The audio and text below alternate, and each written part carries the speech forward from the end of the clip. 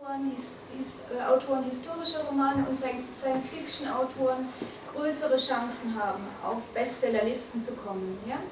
Ich, also das ist einfach jetzt so ein kleiner Übergang zu dem Thema Bestsellerlisten, dass man sich ja auch immer kritisch betrachten muss, weil äh, Bestseller ist ja auch nicht nur, äh, ist einerseits Geschmackssache, aber es steckt dahinter natürlich immer der Markt. Ja? Je mehr Markt gemacht wird für ein Buch, desto, äh, desto äh, berühmter in Anführungsstrichen wird es natürlich. Ja?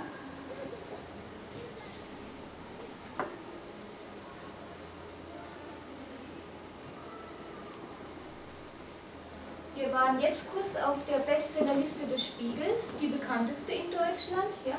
Und zwar haben wir hier, haben Sie vielleicht auf der, auf der anderen Seite gesehen, sowohl die Belletristik äh, als auch die Sachbuch Bestenliste, jeweils als Hardcover und als Taschenbuch.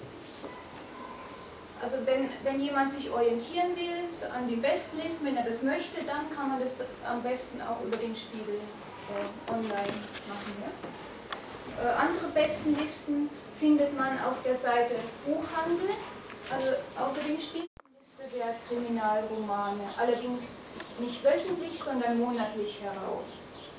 Und äh, immer mehr im Trend sind auch, wie auch natürlich sicher in Russland, Hörbücher. Ja?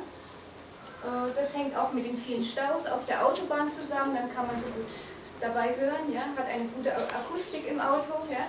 Also immer mehr, vor allem Autofahrer, nutzen diese Hörbücher. Ja? Und äh, es gibt entsprechend eben diese Bestsellerliste auch vom Hessischen Rundfunk. Alle Listen, außer dem Spiegel natürlich, kann man auch auf diesem Buch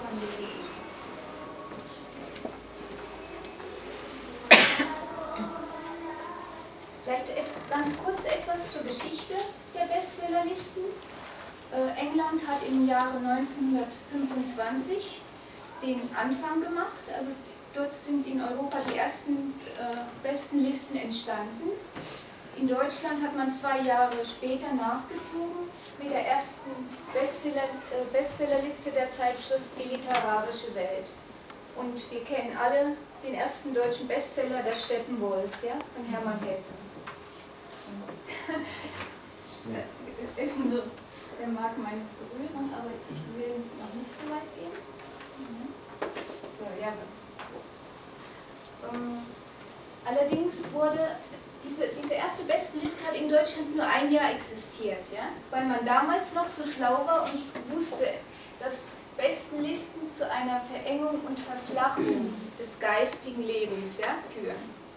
Ja, also man wusste, dass, dass der Markt äh, stärker ist als der Geschmack. Ja? Das hat man damals gewusst, hat die Bestenliste wieder eingestellt, aber äh, in den 60er Jahren hat natürlich der Markt eine immer größere Rolle gespielt, auch der Buchmarkt letztendlich. Und deswegen gab es wieder den sogenannten Seller-Teller ja, der Zeitung Die Zeit. Und äh, später äh, kam die Bestsellerliste des, des Spiegel dazu, die bis jetzt die bedeutendste in Deutschland immer noch ist. Ja. Und seit 1975 noch äh, die Bestenliste der Literaturkritiker. Ja. Also wer etwas Besonderes sich äh, anschauen will, ja, der, der schaut mal auf diese Bestliste des Südwestrundfunks. Die findet man auch direkt auf beim Südwestrundfunk. Ja. Also wenn man das, diese Sachen in Google oder so eingibt, äh, kommt man gut darauf. Ja.